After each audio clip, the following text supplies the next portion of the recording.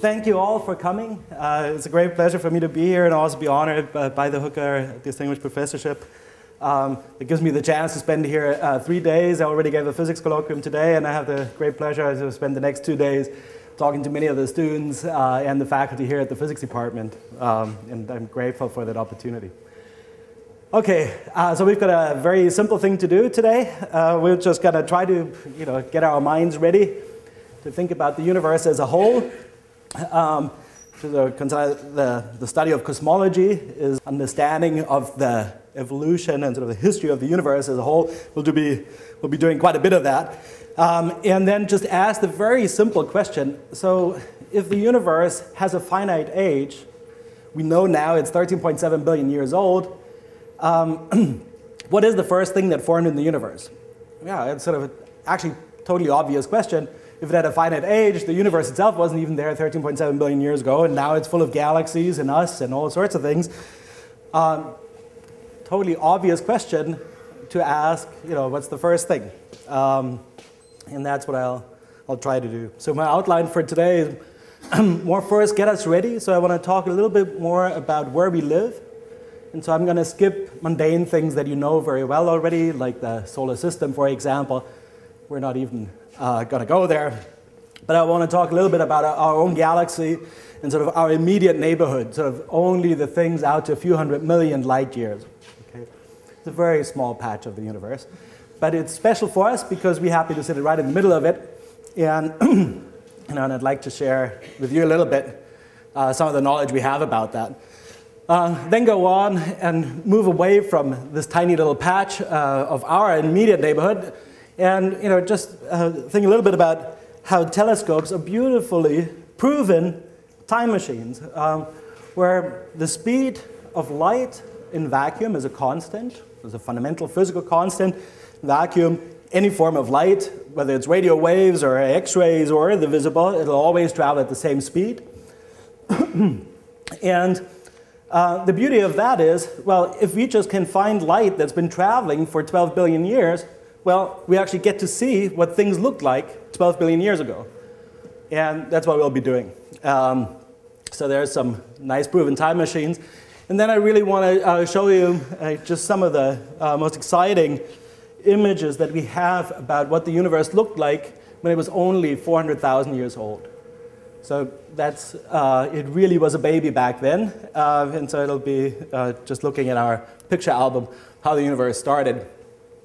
But that's what is going to set us up nicely because if you do know what the universe looks like very early on, and you are a physicist that is concerned with how the laws of physics operate, how gravity makes things contract together, how fluids move, so the laws of hydrodynamics, talk a little bit about that. So how the gases that existed back then are being moved around by gravity and how they act eventually to form galaxies and stars within them. Um, so that's going to set up us nicely. If we know what the universe looked like, we then can apply our physical laws to predict what comes next. Okay? It's kind of like having a pendulum. If I put it here, and I let go, well, with my physical, knowing about the physical laws of gravity, I will know how it's going to swing and how long it's going to take to swing. We're going to attempt the same thing. Knowing the initial condition from where we start, how are we going to predict uh, what comes next? and I'm going to conclude the lecture with, you know, just a few sort of uh, almost philosophical remarks, but um, we're trying to encourage you to really take astrophysics very, very personal. Um, uh, we'll get there when we get there. Okay, let me do one thing first, um, and perhaps we can cut the light for this one. Um, this is, actually, we go back. Can we see okay? It's, a, it's unfortunately a little dark. Uh, it's the night sky. So here, here you've got the band of the Milky Way. That's a typical winter constellation, Orion. That's Orion's belt. For the ones of you that saw Man in Black. Yes, that's right. Uh, that's his belt. That's actually a sword that's hanging from it. That's his elbow. Sort of the head over here. There's even a bow here. He's sort of standing there and he's shooting some bear over here. Okay. you know, you gotta do what you gotta do. Uh, and so, you know, that's sort of the band of the Milky Way. It's sort of nicely, you know, if you uh, can recognize this one, looking at this more orange star that you have here helps you actually find where the band of the Milky Way is. Now, this is exactly what it looks like when you uh, look at the night sky. The one thing uh, that you can't do when you just look at it on the night sky is do the following. Let's fly towards it, okay? Some of the stars now of Orion are already gone. See, the next one is disappearing here, this one disappearing there. Very, very simple lesson, right? All the constellations that you see on the night sky are pure chance projections. None of these stars, you know, most of them, are not actually physically connected at all. It's just patterns they make. Some of them are not so bright stars, but very close to us. Not very luminous stars, but very close to us. So they appear bright to us. And so these, these patterns really are not physically connected, and they just change over time. You know, in 10,000 years, many of the constellations will look quite different. Um, but some of these uh, structures are physically connected, and let's, let's fly a little more. So actually, we already flew out about uh, a few hundred light years. Okay, we took a few seconds, so I'm stretching the laws of physics a little bit, okay? Much faster than the speed of light. Don't do this at home, it's actually very dangerous because the light would be heavily blue shifted. So as you're flying towards it, you would have gamma rays. Anyway, don't do it. Um, fortunately, we've got physical laws in place that don't allow you to do that either. Uh, so that's good. It's for public safety, I think. Okay, uh, let's fly towards it. Here's uh, Orion, that's a, a, star forming region. It's actually a, a very nearby one, extraordinarily pretty thing. That's the Horsehead Nebula here in the back.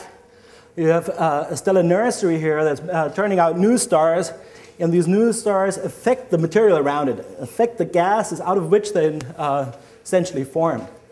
We already passed the Horsehead Nebula. Uh, at this point, we're already a few thousand light years a couple thousand light years away from Earth. Coming up next is actually another stellar nursery. That's uh, the Rosette Nebula. It's very pretty. It tells you astronomers are romantic. As we call it after a rose, but there's some 10,000 stars in here that light up the gases around it again in red. Uh, that's light that hydrogen likes to give off. Now here's another beast that looks, uh, from afar, looks similar. It actually uh, isn't. This is a supernova remnant, so-called Crab uh, Nebula. And watch, there's something blinking in the middle here. See that? That's a, uh, actually a pulsar that's right in the middle. Pulsars are very fast, rapidly spinning neutron stars. Um, and we had to slow it down a little bit. In reality, it actually spins around its own axis uh, 30 times a second. That's not bad, considering that it's a little bit, uh, it's about the size of Hamilton. Okay? It's one and a half times the mass of the sun, but somehow it manages to spin around itself 30 times a second. It's really extraordinarily fast. I mean, we don't want to do this with Hamilton, try to turn it over 30 times a second. Um, now, what I did so far is, you know, it was all based on a catalog uh, collected by the Hipparcos satellite. It was about 200,000 stars. Were all the exactly correct positions. we had the correct luminosities for all the stars. We had the correct colors for all the stars which on the screen is a little hard to uh, discern, but some of them are more reddish than others, others are more blue. It has much to do with their mass and mostly the surface temperature uh, of them. But all of the data, everything I showed you, um, was the real deal. It was the correct images, correct locations. Um, so just for a few seconds, excuse me that I won't continue with such scientific rigor, um, because one thing nobody's ever done is to see the Milky Way from top. Okay. So we don't know what the Milky Way really does look like from the top. We have some ideas. Um, we know that it has some spiral arms. We also know that our sun is about 24,000 light years away from the center. So, you know, we sit in an arm, sort of fairly boringly out here, um, with 24,000 light years to go to get to the center of the Milky Way. And what we did, we uh, did take a surrogate galaxy that actually had the correct number of spiral arms and sort of lined up the spiral arms at the correct location. So it's not you know, completely made up, but of course no human has or ever will see um, you know, the Milky Way from top. So the field of view here uh, is almost 100,000 light years across. So you can imagine you would have to fly 100,000 light years away from here already to get this sort of angle at the Milky Way. I mean, it would be great to do it, but what a boring journey that would be um, to get there. All right, well, now we're out of here and we sort of see our own galaxy. That's great. Um, but what's up with all the dots? Are there like interstellar stars? No, every single dot now actually is an individual galaxy. So our galaxy hosts about 100 billion stars. 100 billion. So, you know, 1 and 11 zeros. Now, all of these guys are, you know, already appear to look quite smaller. In fact, that's true. There's uh, tens of small galaxies around our own galaxy. They're small, so we call them dwarf galaxies, okay? So some of them have, um, you know, the bigger ones have a billion stars. Um, then we started discovering, uh, 10 years ago, we started discovering more and more that only had about 100,000 stars in them, or a million stars. And now, uh, actually, in the last year or two, we find new galaxies right up against our nose. I mean, literally just that are still missing in this picture. There's more little galaxies around, some as small that they only contain 200 stars. Okay? We still call them galaxy. It's an assembly of stars, but very small ones. And the remarkable thing is, uh, even very up close to us, we're still discovering them today. Okay? So astronomy is great that way. So you know, a lot of things that I learned 10 years ago are just wrong now. You know. Um, so it's fun to be in it because you can help, you know, find stuff out. Um, and, you know, that's half the fun of it. All right, but let's, you know, this is just a measly 100,000 light years across. Let's keep going. Um, so here actually there's a two Magellanic cloud. So if you go to Brazil or something, you can actually see them on the night sky. There's a large and small Magellanic cloud, more little dwarf galaxies. Um, let's head over to our sister galaxy, Andromeda. It's a, a, slightly bit larger than the Milky Way, There's a few more stars. That's the triangulum. There's some uh, massive star forming region in here that we're going to fly through. Again, Andromeda has the same issue. It's got little dwarf galaxies that sort of cluster, like to hang out around the big one.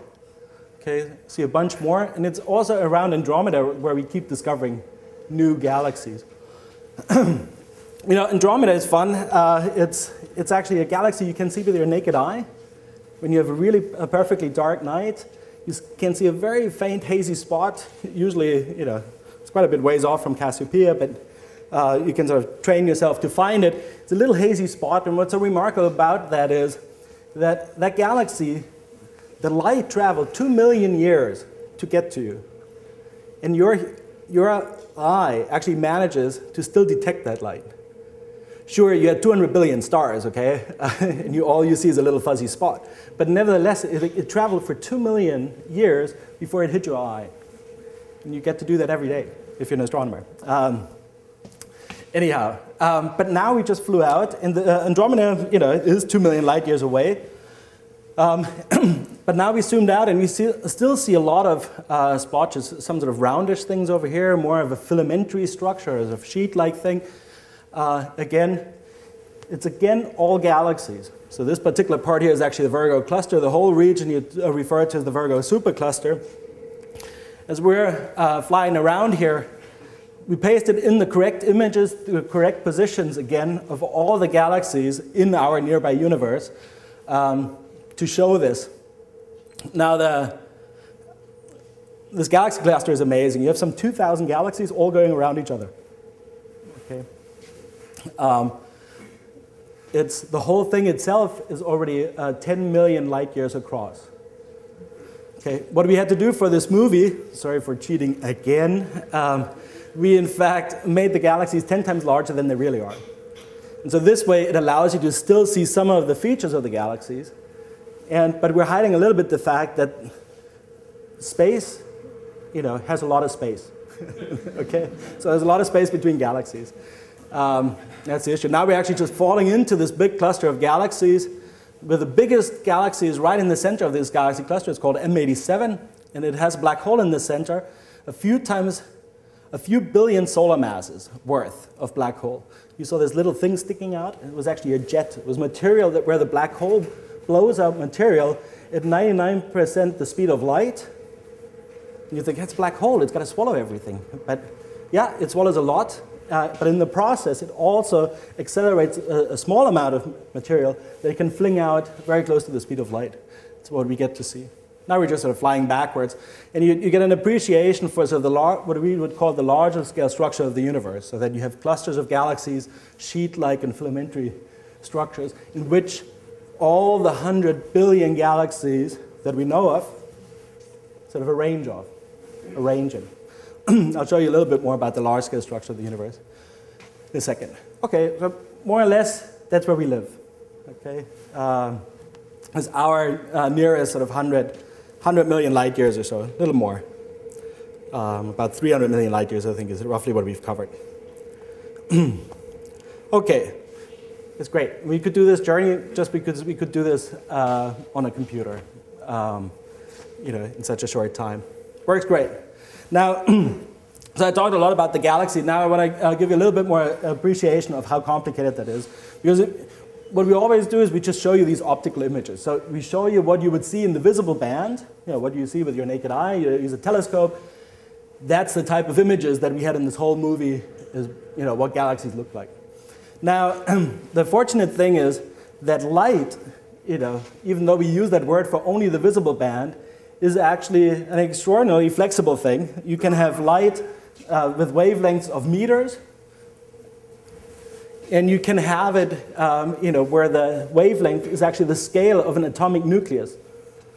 So the one would be radio waves, the other one would be more gamma rays um, in it. And at, the, at all times, it's actually the same physical phenomenon. So whether it's infrared or X-ray or radio, it's always the same, same physical phenomenon. It's an electromagnetic wave.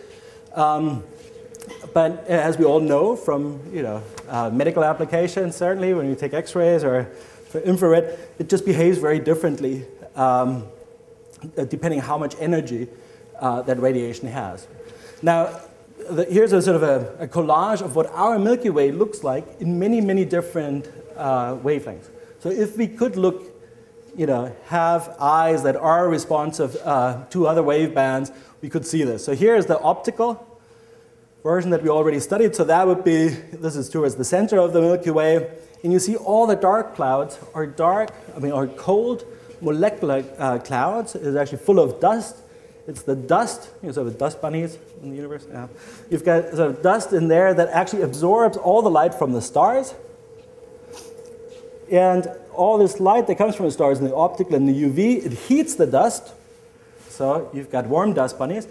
Now they radiate, uh, again, that radiation in the infrared. Just like our bodies are radiating quite heavily in this warm room now, um, it all comes out in the infrared radiation. So if I would have night vision goggles, I would still all see you. There I would pick up the infrared uh, light of it. Very similarly, if the optical light gets absorbed by the dust, warms the dust, dust gives it off in infrared. You now see in near infrared and mid infrared and in sort of directly in the infrared, you see the things that used to be dark, all of a sudden they light up. So in these, these regions, it's exactly the dark clouds that all of a sudden get bright. Okay? So it's fantastic to have an infrared camera because I can actually see things that in the optical I, I didn't have any knowledge about. They were just a nuisance because they were in the way. Um, similarly, if you look uh, even in the X-rays, there's, uh, the galaxy is full of X-ray emitting gas. Uh, actually, we call it plasma at this point. I mean, it's so hot that like, you know, a hydrogen atom, you just have a proton and an electron going around it. Uh, in a plasma, it's so hot that the electron actually can't hold on to the proton, and the protons and the electrons move separately. So as hot plasmas like this, they can have millions of degrees. Um, you can find all over uh, the plane of the galaxy even, uh, emitting in the X-rays.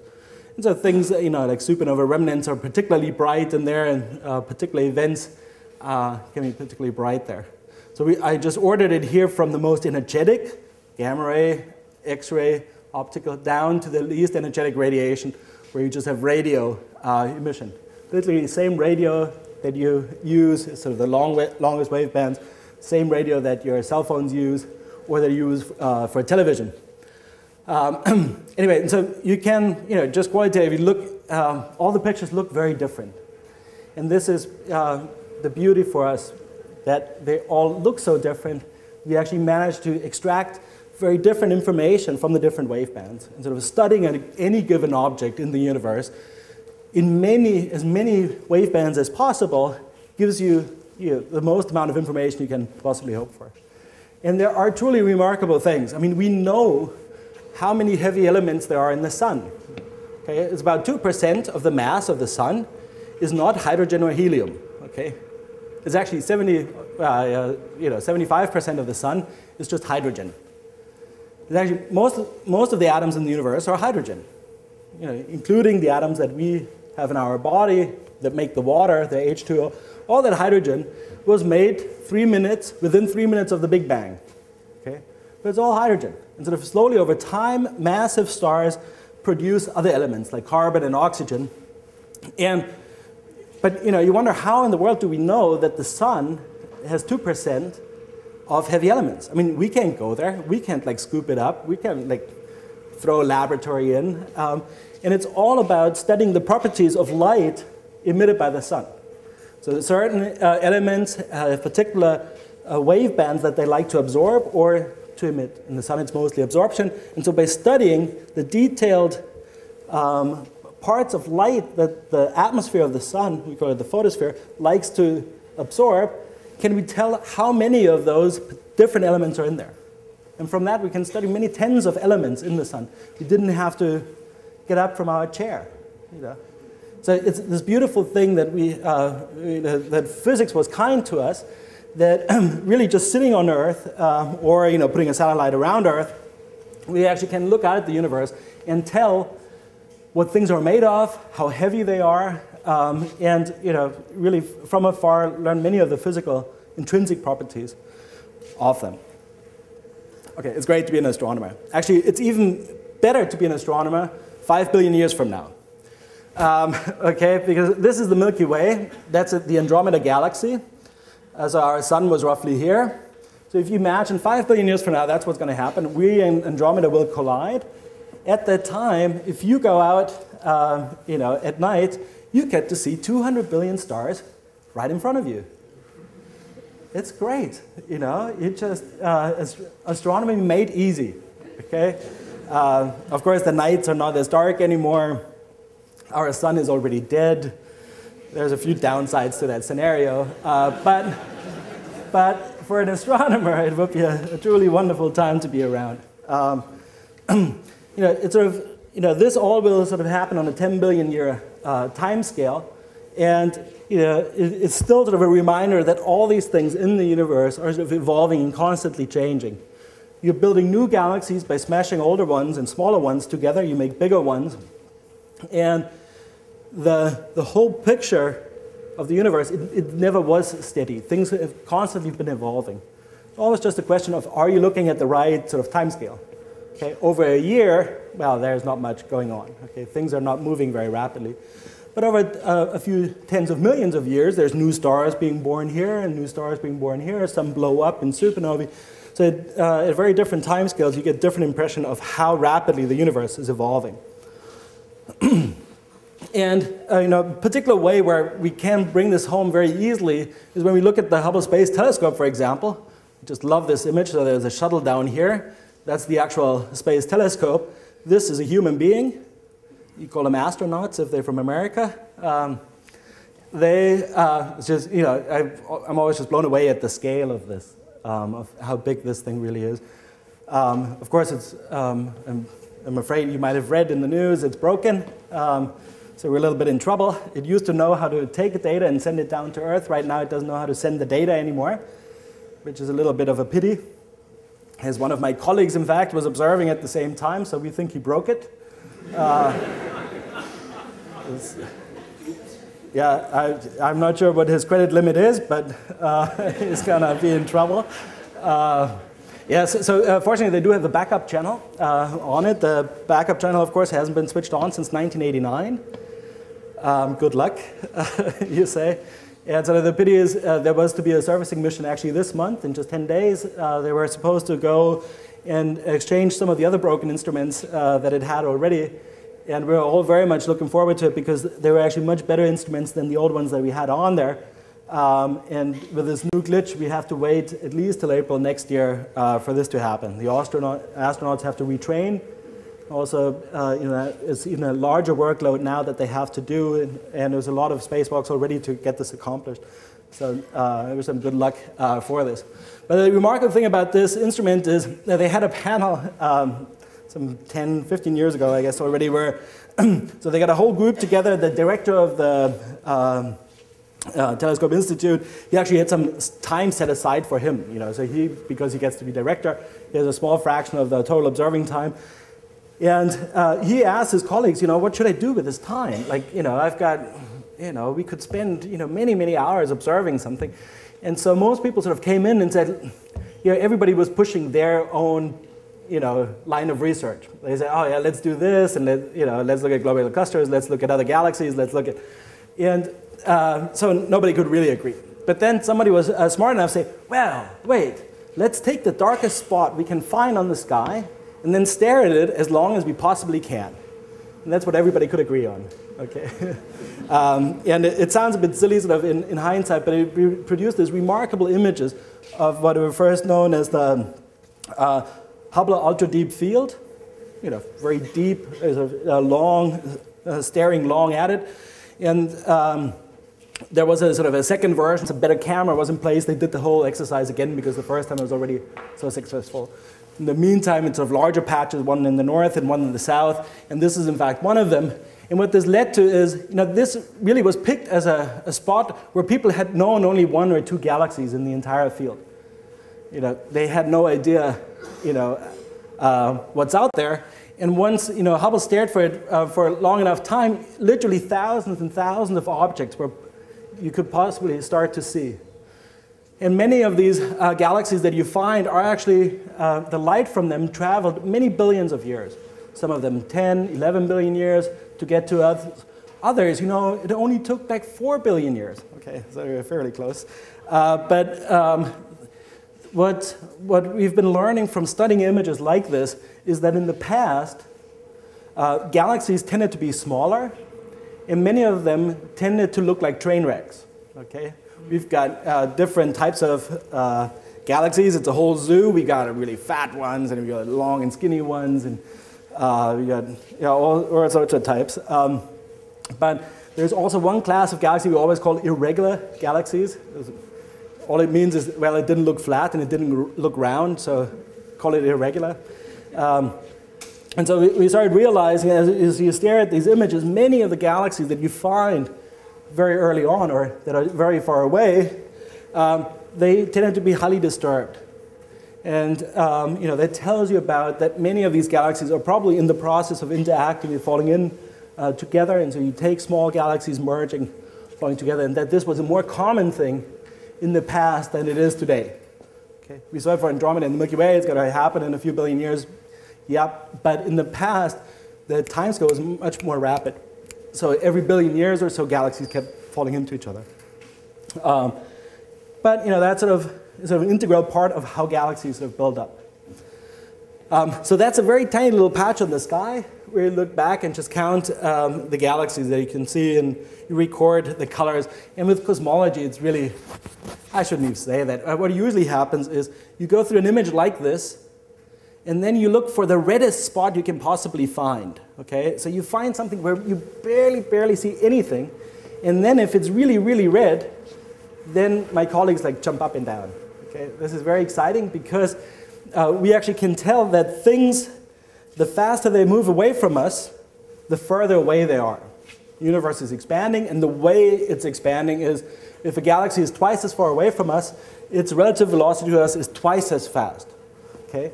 Well, what that means is it actually shifts the light, redshifts, just like the sonic um, you know, sort of sound waves are shifted. You know this from the ambulance. You have an ambulance that comes towards you, it goes wee wee wee, and then when it goes away from you, it goes woo woo woo.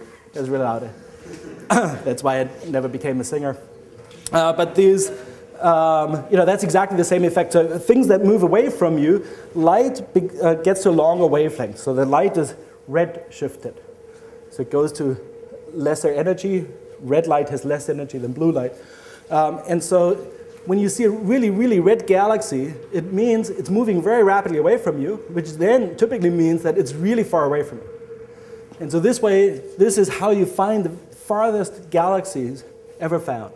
And some of them now, in fact, um, we know light traveled from them for 12.8 billion years to get to us. Okay, so that's the farthest galaxies we've ever seen and it's great. They, not, they don't look very great, so I don't have a special picture for you because it's a red dot. And the, the red, you know, you barely can see the red. Okay, so it's not as spectacular as you might think. Um, but the, it is remarkable what, what it actually entails. That for 12.8 billion years, that light just kept going straight until it uh, finally hit us. Okay, so what we did here is we looked at a very small patch, uh, patch of the sky, as sensitive as possible. We can sort of do an, uh, another uh, thing where we look at a much larger fraction of the sky and try to count all the galaxies that we can sort of do. This is from a particular survey called the Sloan Digital Sky Survey. It's actually a very small thing. It's only a telescope that has mirror this size. Uh, no big deal. That the only thing what it did is for years, every night it went out and found galaxies and measured how far away they are. And so now here we just painted in little dots for every single galaxy that that survey found. This, in fact, is actually old data. By now, they uh, have much, much wider coverage. So because you see, you know, there's some wedges and there's some parts of the universe where there's no galaxies. Okay, there's a lot of galaxies there. It's just the telescope hadn't looked in that region yet. Okay, so if you see empty spaces, sort of in between, um, they not really empty of galaxies. Okay, now we're just flying back to the Milky Way, sort of seeing ourselves from the outside. So the, we're back to roughly the local uh, Virgo supercluster here that we already looked at earlier. Okay, so there's uh, you know tens uh, of millions of galaxies is what we can catalog today already. With you know all you need a small telescope, keep looking, um, and fortunately you have a computer that you know writes down the numbers where you found them. Uh, Otherwise, it'd be a lot of work. And of course, this type of uh, project we want to continue, and we're actually uh, involved in building a much larger system like this, where you take a really big telescope, eight meter in diameter. You're going to go measure. You take a camera, just like your digital camera. Well, not quite, with three gigapixels. Okay, so that's uh, 300 of your best digital camera you can have. The camera will have a size like this. Uh, you know, just where the, all the CCDs are that record the light and then uh, you take 10 second or so exposures, which means that you take a few, um, about almost 20 terabytes of data a night. It's just for the geeks for us, okay? it's just exciting, okay. right, it's 100 hard drives. You know, anyway. it's a lot of work, that's what that is. Uh, and 30 petabytes of data over 10 years lifetime. Uh, so it'll be just enormous. The beautiful thing about this is, for all of you, you can be astronomers at home because all the data will be public. And you know, there's so much data that all the professional astronomers, I don't think, there's a few thousand of us in the world, you know, we're not going to get to half of this. Uh, so I think it'll be actually a very exciting era where you, will find a lot of discoveries being made um, by folks that, you know, um, can do this from home. Okay, that's just a little bit of excitement. Now we sort of, you know, got our heads to sort of think big so big scales, hundreds of millions of light years across. Uh, so I want to switch gears a little bit and go to talk a little bit about these baby pictures of the universe. So in the, uh, in the 60s, two folks at Bell Laboratories, they were playing with this antenna. So all of this stuff, uh, stuff, of course, was sort of after the Second World War. People realized radar technology, very useful, military applications, you know, it's great. Um, and so as they tried to sort of improve on these technologies that they uh, were doing there, they just didn't know what's wrong with their machine. Um, they could point this thing anywhere they wanted. It would always have some noise. They always had a measurement. They always found there's a signal. Okay? Finally, when they turned the thing to the ground, it was better, much less signal. Okay? But as, see, as soon as they turned it to the sky, there was always some signal of radio waves that they'd uh, be observing. So there, you know, they have beautiful anecdotal stories about them sort of cleaning out um, pigeon remains, I guess is a polite way of saying that, uh, where they sort of in there brooming out uh, the dirt and stuff, but they just couldn't get rid of it. So they looked at the experiment again, but eventually realized that this was really radiation that uh, came uh, from all directions on the sky and was exactly the same signal. And it doesn't matter where, which way you look. And this is the one thing that's still absolutely remarkable about this this is radiation where, that has been traveling literally for 13.7 billion years straight before it hits your detector. Okay? Now, if you look over in that direction, okay, that light was traveling 13.7 billion years before it hit your detector. While you look over in this direction, it took 13.7 million years to hit your detector. Well, how in the world did these two places know to have exactly the same signal? they could have never talked to each other, right? Over the age of the universe, the signal could have made it from over there to us, and the signal could have made it from there to us. But the two of them could have never talked to each other. And that's what's remarkable about it. So it tells us something very fundamental about the very early universe that, in fact, it was extraordinarily similar in all directions. It was extraordinarily, uh, you know, same conditions. So over this very wide range of, you know, sort of parts of space, the universe back then had the same temperature. Okay, the temperature it has, uh, had, in fact, when this originated, was a few thousand degrees Kelvin. You know, not uh, actually a little bit less uh, cold than the surface of the sun. This is roughly when the, this radiation originated. Today, it's 3 Kelvin, okay? 3 above absolute zero. And it's very cold. And that all that comes from is that the universe, since then, expanded so much that the typical distance between galaxies, in fact, is now 1100 times larger than it would have been back then. I use this funny measure. There were no galaxies back then. Okay, so you might have caught uh, my thing, but the logic is actually still true. A typical distance now, if you follow it back in time, it would have been 1100 times smaller at the time this radiation originated. And then literally the image of it looks like this. Very boring. Okay, so it's the same from all directions. And so in the old days, that's really all you sort of could tell. Um, then, um, actually, a Nobel Prize was awarded a couple of years ago to John Mather and George Smoot that sort of were um, the key players putting together this um, satellite that in the early 90s flew and in sort of mid 90s reported the results. Um, and they uh, also could measure this sort of dipole, this radiation. In fact, all that has to do is, again, the same Doppler effect. It's actually us moving with respect to this radiation. So if we move in one particular direction, it actually looks a little bit warmer in the direction that we're moving uh, compared to the direction we're moving away from. Um, this is actually wonderful because now we have a measurement of how fast we're moving with respect to, to most of the universe, if you want. And that, uh, that speed is actually pretty awesome. It's about 600 kilometers a second. It's nice. So to California, you know, I don't know, 10 seconds would have been much easier than the flight I actually did take. Um, and so, yeah, but that's sort of the speed, you know, the sun and earth, everything together, uh, local uh, versus most of the universe that you can measure. Now, but this was still not the biggest discovery that came from the cosmic microwave background. Um, the way you want to think about this, where it originates, is the universe was really dense at, uh, early on, and so all the radiation, in fact, always got stuck because it saw electrons. When elect uh, radiation sees an electron, it sort of scatters off the electron, very much like light that sort of scatters around in the clouds above you. And at the end, all you get to see is the surface of the cloud. You don't get to see inside the cloud. All you see is the light that sort of comes out of the surface of the cloud and eventually makes it to your eye. But before that, sort of inside the cloud, you have all this fog where radiation just scatters around. Okay, and the, of course, in the clouds here, it's actually the water uh, vapor that the light sort of scatters off of. In the early universe, it was just electrons.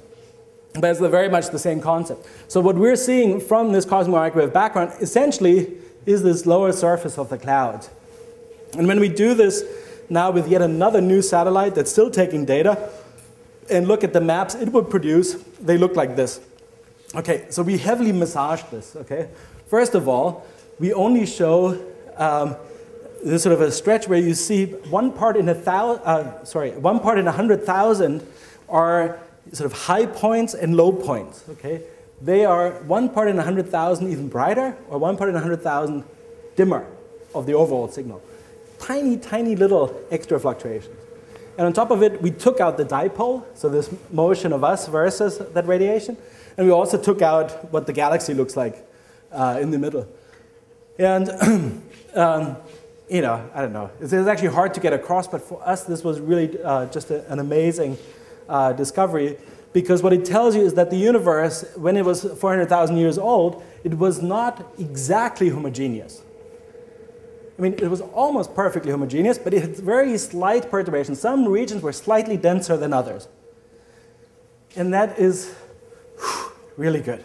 Because if it wouldn't have been, if there are no regions that would be a little bit denser, we could not be here. Okay? And since we know we're here, you know, we're, we're happy to find that in fact, in the early universe, you had regions that were slightly denser than the rest, because that, what that means is that gravity now can hold on to these slightly denser regions, and gravity can continue to pull on it, continue to make it pull it together more and more, make it denser and denser, and eventually be able to make galaxies and stars uh, inside of it. And so that's how Stephen Hawking actually, um, you know, was all excited about this halo, the biggest discovery of uh, mankind. You know, there's so many discoveries, but you know, nice exaggeration. Somehow, however, he managed to get his tribute into this map. So I'll now play something with your mind, and it'll be interesting about your mind. You look at this. Here are his initials: S, H. Okay. so you'll. Uh, every single time, I'll swear to you, every single time you look at this map, you'll always find this again, okay? So uh, somehow I've, for life, altered your brains. Sorry, you didn't sign a wafer or... but it's amazing how this works. Your perception in your mind really goes for this. It's, so uh, yeah, I never failed to look for it uh, in this. But now, so there's very detailed uh, studies of this cosmic microwave background. We now um, have a very complete, uh, perhaps a little ugly picture of what the actual universe is all made of. I don't fully have time to go through all of this today, but we know it's about 13.7 billion years old.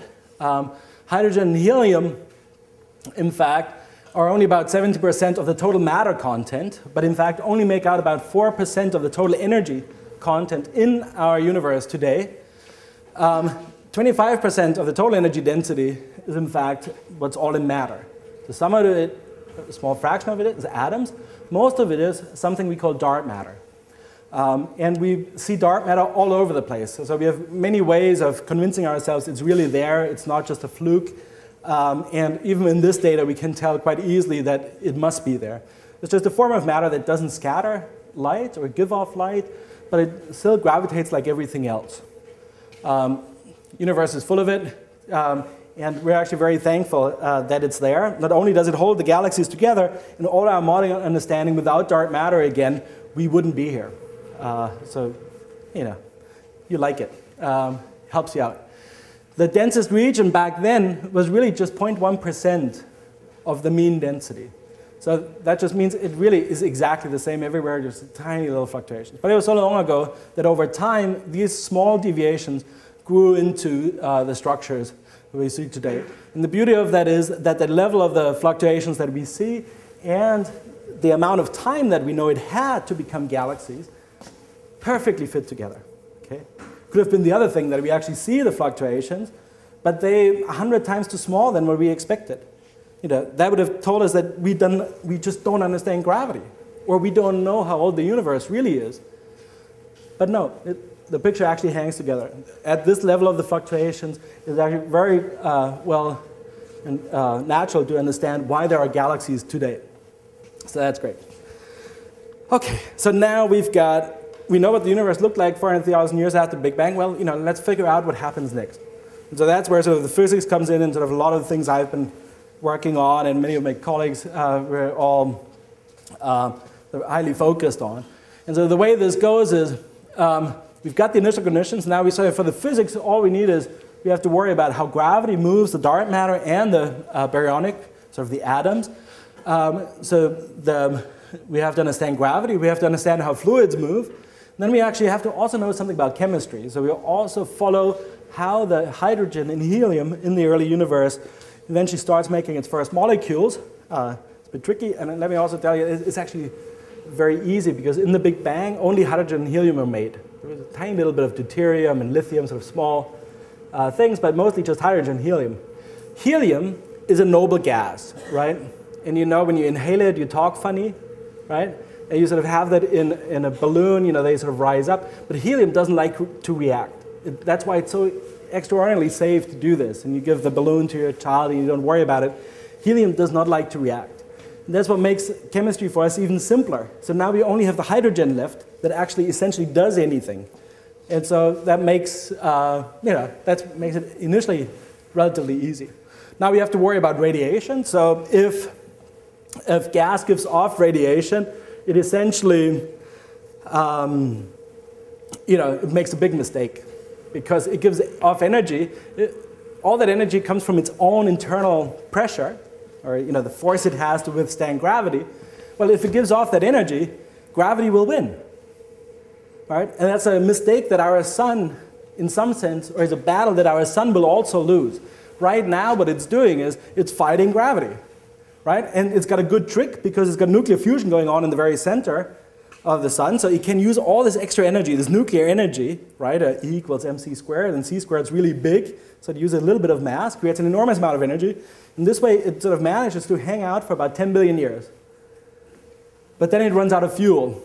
And then it's going to lose again because gravity is going to pull it together. And the biggest mistake it actually makes in this whole process is that it shines, shines light.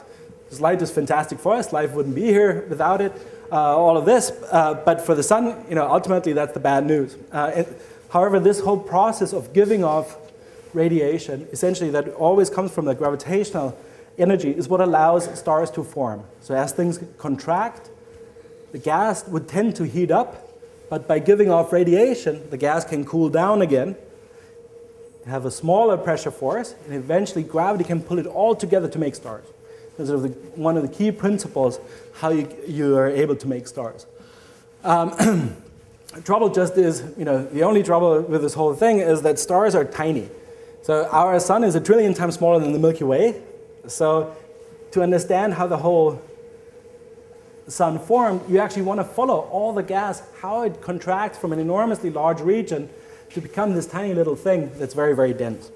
And for this, we um, uh, use particular numerical uh, techniques where I don't, I just show the, off the geeky pictures, um, where we solve all these partial, uh, differential equations that in fact um, follow gravity and hydrodynamics and such.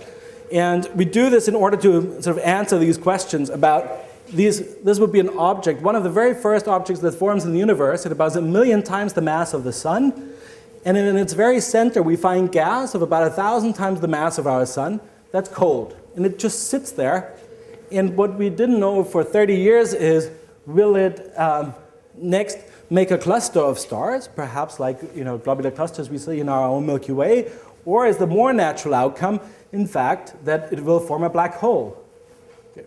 That's exactly what a black hole looks like. exactly. It's an artist's conception, of course. Uh, that would be nice to really take a picture of this. But so, you know, we had this fundamental questions. I mean, we couldn't even say that, okay? We knew that all right, there's some gas and it can form molecules, and the molecules will go off radiation, and then it can collapse. But what's going to come out?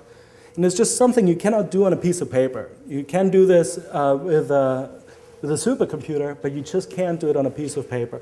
And that was sort of, you know, that is what's driving many of the breakthroughs we have in this kind of science. So let, let me show you an animation here where the lighter the color, the higher the density. This is sort of an evolution in time. This, we only visualize the hydrogen and the helium gas uh, in here is about 3,000 light years across. And you see all these little objects forming, they coalesce. Gravity drives everything here. Gravity puts it all together, makes these little fellows all fall together to build one larger one, only about a million times the mass of the sun. Um, looks a little psychedelic, uh, but is all this turbulence is all driven by the uh, gravitational infall of these different clumps. Now we're in fact flying in towards one of them, this particular region within which uh, this first star is formed, and we keep zooming in, keep zooming in. So every contour here is sort of a higher and higher density level. And we're now going down to about the scale, uh, not quite yet, so down here is about the scale of the solar system, where in fact what you see is sort of a dense little one solar mass protostar that sits in the center and sort of an elongated sort of disky shape around it. Okay, this is a little bit how our sun formed. I mean, so we, when we had the sun, we made a disk around it. There was a lot of dirt in the disk, dust, and also water ices. Those then broke up and made a whole bunch of planets, including ours. But uh, for this very first star, this primordial case, there was no dust. There were no ices, so you weren't able to make planets around it. All right. Well, I skipped, I mean, I cheated again. I keep cheating today. So we skipped 3 million years. Of course, the star actually lived for 3 million years. Here, what we did is, oh, let's say it explodes, okay? So it just went straight to supernova from being formed. but that's uh, still an accurate calculation of actually what the supernova would look like from one of, uh, one of these stars. Because what we found is that you make massive stars as the very first thing, somewhere between 30 to 300 solar masses. And uh, they will, their supernovae will start enriching the medium around it, meaning they will put out carbon, oxygen. And in fact, it literally means atoms in your body used to do this. Okay? It's not just some random atom somewhere out in space. Atoms in your body participated. Every single one of you, I will take a bet on this, uh, was part of this. Okay? and we can go through the numbers later if you'd like, but it's a very, it's a very good bet in my favor. Um, you know, what can I say? Anyway, so it used to be that uh, for three, you know, we had to skip because we couldn't do the, the difficult problem of when the star uh, starts to shine, all its radiation will impact what it does around it. And we couldn't do, we didn't have the numerical algorithms to actually solve this problem until recently, where we finally overcame uh, this. It took me a long time to work on this.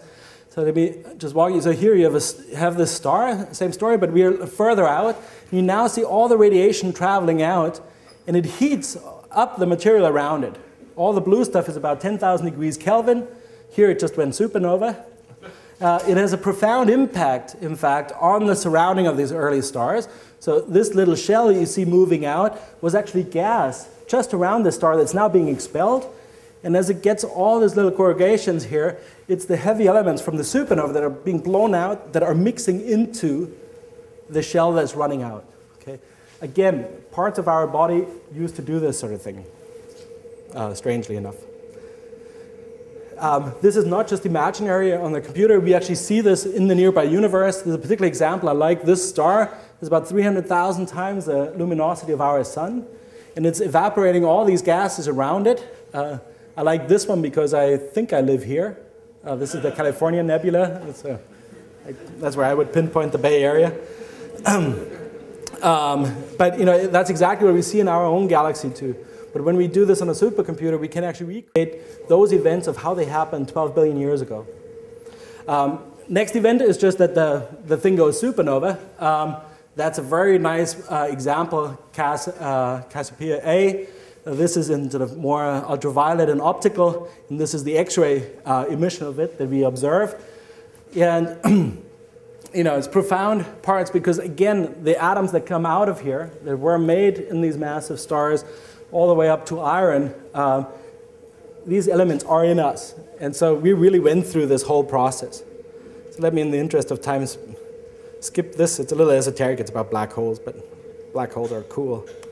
Um, Okay. So, all right, so we made one star. Now let's just see like what happens when we let things uh, keep going. So here's the case where we actually look further out, 20,000 light years across. This is still the first few hundred million years of the universe. And now every single event that you see here is actually an individual star that first ionizes the region, so it's, it's radiation, and then this purplish uh, color are in fact the heavy elements that the supernovae are fl uh, flinging out. So it's these different uh, regions here where we have he heavy elements from all these massive stars that like to mix, and then gravity then pulls back together uh, to make new galaxies after this. A key thing to keep in mind is 10,000 patches like this one are required to make our Milky Way. Okay? But there's 100 billion galaxies you know, of order the mass of our Milky Way. There's a lot of these patches in the universe. Okay, so we're always just focusing on a tiny little region currently because that's all we can fit on current day computers with this level of detail. So the galaxies that come out then uh, look a little bit like this. So that's an attempt of an early work we have of what the very first galaxies might look like. Uh, and sort of the goal we continue to improve on to make bigger and bigger galaxies. So these are the locations of where all the stars had formed. Uh, blue is the hot gas, red is sort of cooler material. Um, how it look like. This is one of them. And like I said, there's already uh, 10,000 of these that will make up our own Milky Way. And so there's an enormous number of them. Um, so obviously we'll have a little bit more work to do uh, to learn more about them. Um, let me just sort of make uh, two more slides quickly. So the one is you know, just to talk a little bit about how do we discover things and how, how do we things and how does supercomputing fit it in. The second will be to take the whole uh, thing a bit more personal. When we have sort of a timeline of the universe, sort of we would live up here, that's our era, the era of galaxies. Uh, we have sort of a timeline way back in the very first split second of the universe. Um, we're learning a lot about particle physics, of how sort of the fundamental forces that sort of govern of what types of particles we have um, actually govern how the whole universe evolves as a whole. So here's sort of the area of nucleosynthesis where hydrogen and helium are being formed and also trace elements of deuterium and lithium. Um, that's just the first few minutes. Now, the era I've been talking about mostly today is sort of the first billion years of the universe, where in fact we hardly have any observations from telescopes, okay? Close to us, we just use the Hubble Space Telescope, or this was the Sloan Digital Sky Survey Telescope, or many of the others, and we can just probe all the nearby galaxies and things that happen inside of them. But for things that are even further back in the past, we currently don't have good enough telescopes to actually get a direct signal from that, and that's why we call this uh, era still the Dark Ages. Um, and it's these dark ages where you have the first stars and the first galaxies. They tend to be small, and the small things are hard to find when they're this far away. And so currently, it's really supercomputers um, that allow us to sort of probe this era, building on the initial conditions that we see here, just predicting the past, if you want, and perhaps also predicting future observations, uh, what future observations would see. So within you know, 2003, National Geographic put our work on the cover, and they called it "Discovering the First Galaxies." It, you know, I was a little bit uh, taken aback uh, at first because the I mean, first of all, it was the first time I ever put a, anything that's not a photograph on the front of the cover. You know, that was great. Um, actually, before there were photographs, they had illustrations. It's an old magazine, so they used to have non-photographs, but it, they never had any computer-generated image on it.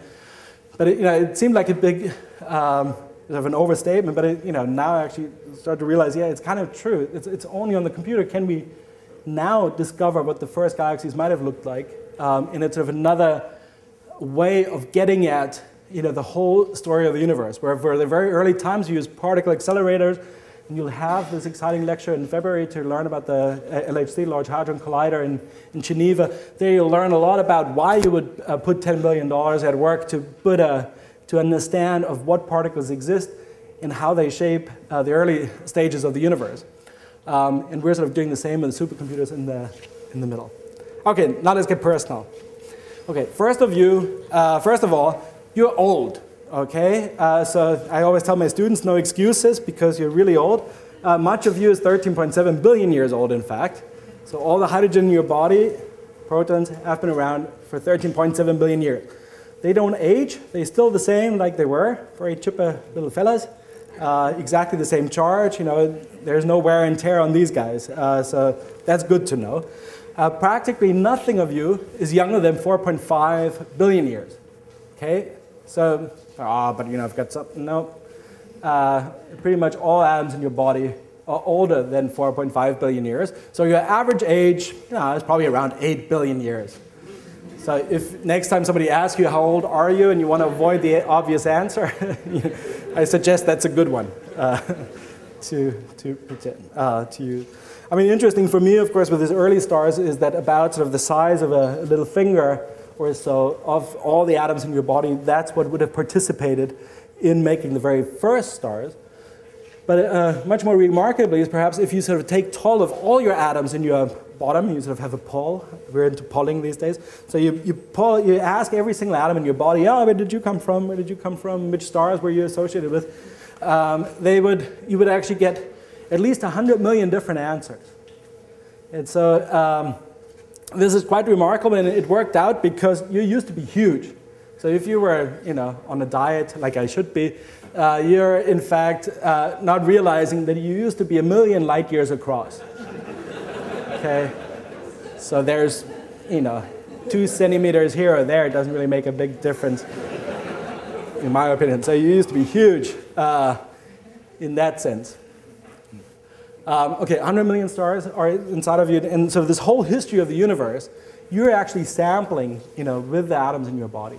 And so, in some sense, for me, it's a little bit philosophical. You know, if you just think of water waves, um, you drop a stone in the water, and there's information clearly traveling, right? There's sort of a wave that's going out in a circle, and it's clear. It's sort of it's round. It's always, you know, the center of the circle is where you threw in the stone. So there's information that's traveling, but the individual water molecules, they're just going up and down. I mean, there's no water molecule actually traveling over it. Sort of the information's traveling in the medium. That's sort of a water wave. Well, the funny thing for us is since biologists tell us, you know, we're obviously we're always eating, uh, we're constantly replacing the atoms in our body, right? So it's not the same atoms that I was born with that I still have. There's a few probably in my teeth or so that I don't lose as quickly, but most of the atoms, in fact, are moving through my body. And here, that analogy with the wave, it's sort of exactly the same, just opposite, where the information, meaning you, or who you, are and who you think you are, it's there. In the medium, if you want, it's just passing through you. Okay? So the atoms are sort of going through you over, over your life, but you grow and sort of what you have um, in your mind, you know, that's what sort of exists. So that's perhaps a little philosophical uh, to have in mind if, if you want to have a cocktail later or something. This is the type of thing you want to be contemplating. Um, all right. Let me just summarize. Uh, say, you know, remarkably, that the universe is now not only explored by telescopes or particle accelerators, it's also explored with the use of supercomputers. Um, the, uh, and what, you know, one very clear thing, you know, this particular good example is this work on the first stars where we could only discover using supercomputers that the first stars indeed formed in isolation, sort of they're lonely. Uh, they didn't form in many clusters. They, in fact, uh, were alone and were very massive. So they produced uh, some of the heavy elements already and started this whole process of getting the universe from something very simple to something complex and rich enough that it, in fact, could lead to life and eventually uh, to us. And so cosmologists, in some sense, if you want, are predicting the past and they're also predicting what the next generation of telescopes uh, will see. And now is really a perfect time. And I say that because the launch of this you know, fantastic new telescopes, where Canada here is involved as well in the James Webb Telescope, um, is still another five years away, which means I still have five years to make my calculations better. Okay, so it's not happening today uh, yet. And so, you know, I have five years to improve, but it's not 50 years, okay? So I don't, so it's sort of a perfect time to do this. Um, it's kind of silly to put more funding into this 20 years from now. Um, you know, I'm not looking for your money. Um, and, but do take this home. Uh, please do take this uh, very personal. The universe is, is really part of all of us. Thanks so much.